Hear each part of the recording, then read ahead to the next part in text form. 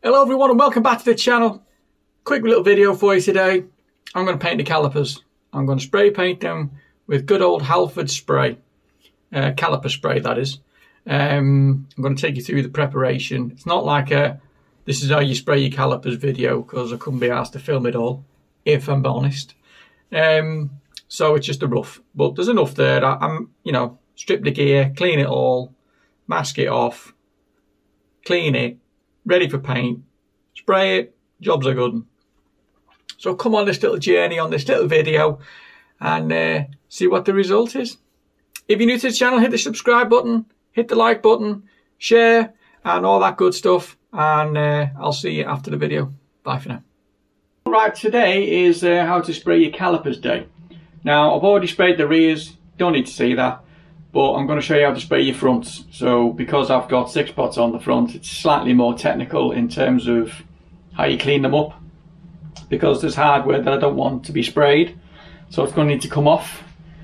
And uh, yeah, we'll go from there. And the reason why I'm spraying them up is because I hate orange and we've got an upgrade coming. So they need to look good for the upgrade. I wonder what the upgrade's going to be. Hmm. Anyway, let's go and get on with it. Let's get outside in the cold weather and uh, start playing with spanners and do what we usually do. Come. Okay, so we're going to start with the pad retainer bolts and get them out because we don't want them sprayed and we don't want the pads to be sprayed either so we need to take them out. Turn the steering wheel so the caliper is pointing at us rather than away from us like this. Makes life a lot easier, there you go. Pull the pads out easy enough. Then I'm going to blast the bolts I want to come off with uh, WD-40 but to be fair I used WD-40 to clean this caliper. So there was a lot. It's very handy actually WD-40 as a cleaner. So it's a handy little tip that one. Um, these bolts were on far too tight. I even had to use an extra wrench on it just to give me extra leverage. They were on far too tight um, same with the, the actual wheel spaces, as you can see. Them nuts were on way too tight. The driver's side's got already got a rounded one on there, a rounded nut. So I don't know how the hell I'm going to get that off. Because um, I want to paint the bell on the driver's side, but I couldn't get the disc off. But I took the disc off this side, as you can see. And uh, although I'm not showing it, I did clean everything up there, including that little dust plate. Got that all sprayed up, it looks mint. So we're just uh, fixing the caliper back in place so we can get the bungee off and start the cleaning process. So I used WD-40 for the major part of the clean and then I aided it with Autobrite Engine Bay Degreaser.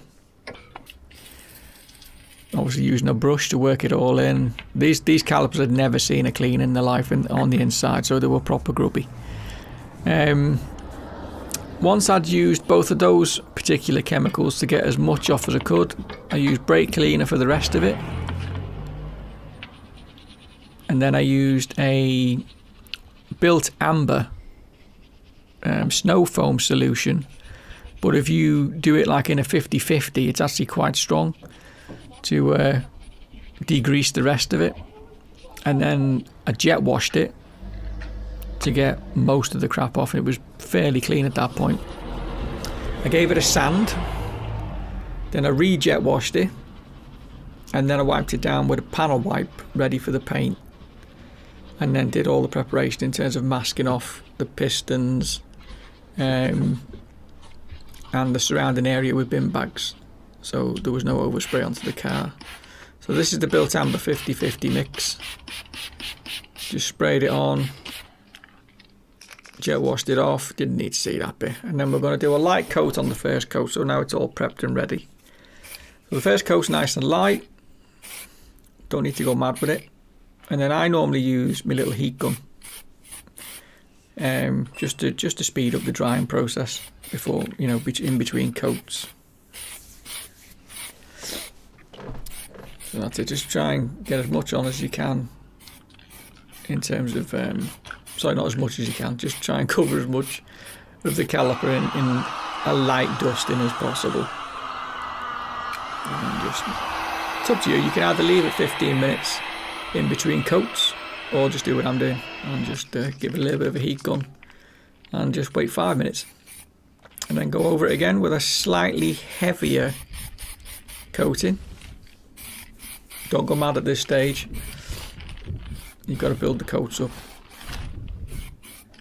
and then hit it again with the heat gun when we've uh, we've done all the coverage that we want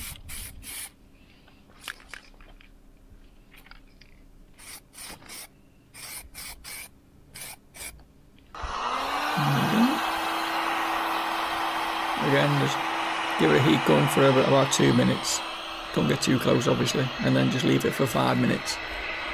And then come back and get the third thick coat on.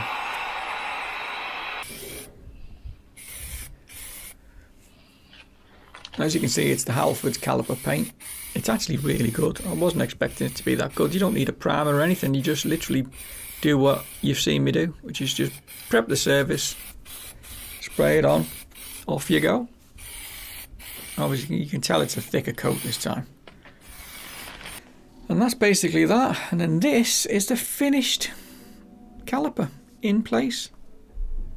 Looking lovely and shiny. Looks like a nice thick coat. This is the other side.